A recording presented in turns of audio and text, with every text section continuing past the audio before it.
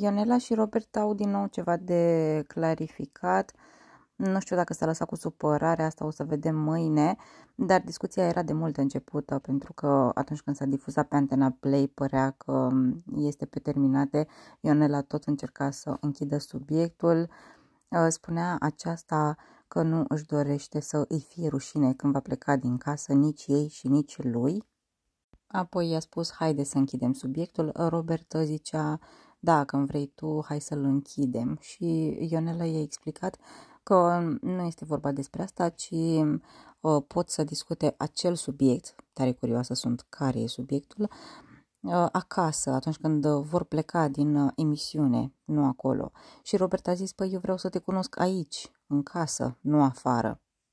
Și tu ai deschis subiectul, nu eu. Și Ionel a zis că da, știe că ea l-a deschis, dar nu vrea să mai intre în detalii acolo și nici să mai vorbească despre alte persoane.